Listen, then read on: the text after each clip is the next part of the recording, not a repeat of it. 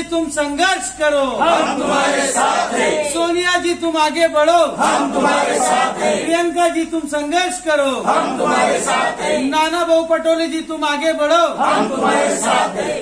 काँग्रेस पक्षाचा हम तुम्हारे साथ हैं। खडगे साहेब आगे बढ़ो। हम तुम्हारे साथ हैं। जिल्हा काँग्रेस कमिटीचा जिल्हा सरचिटणीस आणि या पाचोरा बळगाव विधानसभा क्षेत्राचा निरीक्षक आणि सोशल वर्कमध्ये राष्ट्रीय बंजारा टायगर्स या संघटनेचा राष्ट्रीय अध्यक्ष.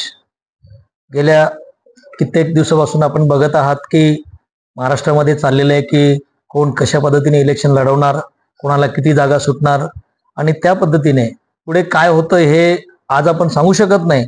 परंतु काँग्रेस पक्षाची जी काही तयारी आहे काँग्रेस नेतृत्वाने जे देशामध्ये करून दाखवलेलं आहे आणि जे महाराष्ट्रामध्ये आपण केलेलं आहे हे आज आपल्याला माहिती आहे की जिथं एक सुद्धा खासदार नव्हता आमचे एक खासदार होते परंतु त्यांचा मृत्यू झाल्यामुळे आम्ही झिरोवर होतो. परंतु त्या झिरोवरून तेरा खासदार निवडून आणण्याची किमया ह्या महाराष्ट्रातल्या काँग्रेसने केलेली आहे. काँग्रेसच्या कार्यकर्त्यांनी काँग्रेसच्या नेत्यांनी केलेली आहे.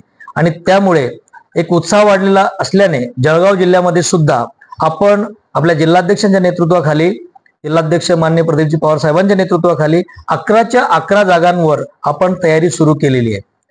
याचा अर्थ असा आहे की समजा महाविकास आघाडीच्या वाटेघाटीमध्ये ज्या काही जागा मित्रपक्षांना जातील तिथं सुद्धा जी काँग्रेसची आजची तयारी आहे ती त्यांच्या कामात येणार आहे.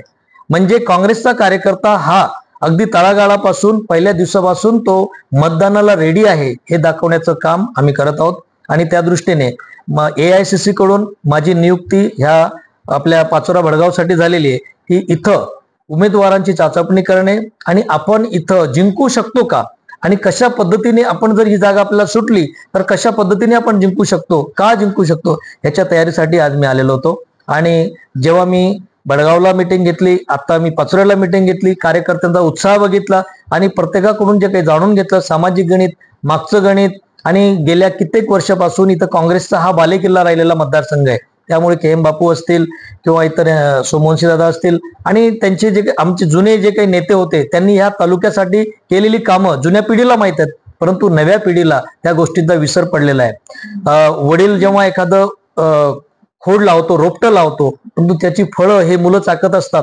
त्याप्रमाणे काँग्रेसने ह्या तालुक्यासाठी ह्या मतदारसंघासाठी खूप काही केलेलं आहे. जे काही धरणं आहेत जे आपण हरित क्रांती जिथं आपल्या तालुक्यामध्ये बघतोय जो विकास झालेला आहे तो काँग्रेसमुळे झालेला आहे. आणि गेल्या दहा वर्षापासून इथं जे काही आमदार इथं निवडून आलेले आहेत त्यांनी ह्या तालुक्याचा कशा पद्धतीने ऱ्हास केलेला आहे विकास नाही ऱ्हास केलेला आहे हे आपल्याला दिसून येते. त्यामुळे या तालुक्याला पुन्हा भरभराटीस आणण्यासाठी काँग्रेस पक्षाने ह्या जागेवर दावा केलेला आहे.